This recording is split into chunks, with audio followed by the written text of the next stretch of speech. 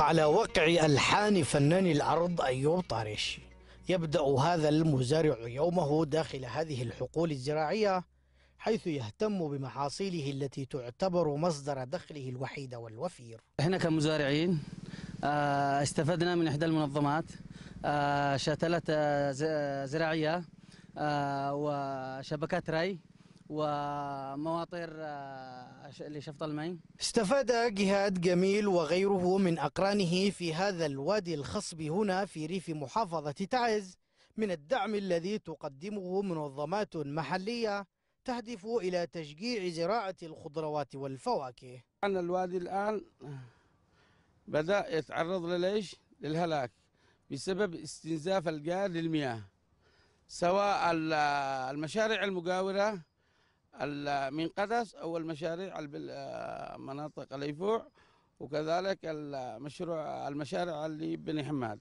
شبكات ري حديثة وتقنيات زراعية تقدمها المنظمات لهؤلاء المزارعين للتقليل من استهلاك المياه واستصلاح الأراضي غير المزروعة استنادا لقاعدة ربما يدركها المزارعون.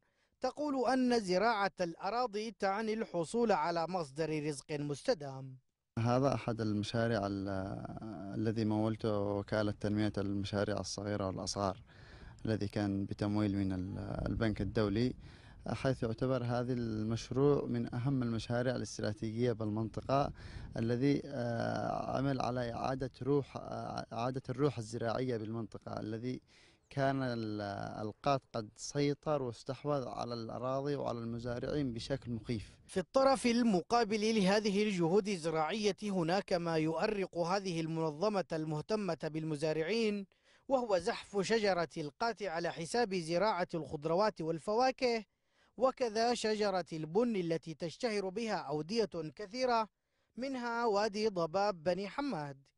ما يهدد المنطقة بالجفاف فالقات يحتاج إلى أضعاف ما تحتاجه هذه الأشجار من المياه لتأتي هذه المبادرة للحد من انتشار زراعته.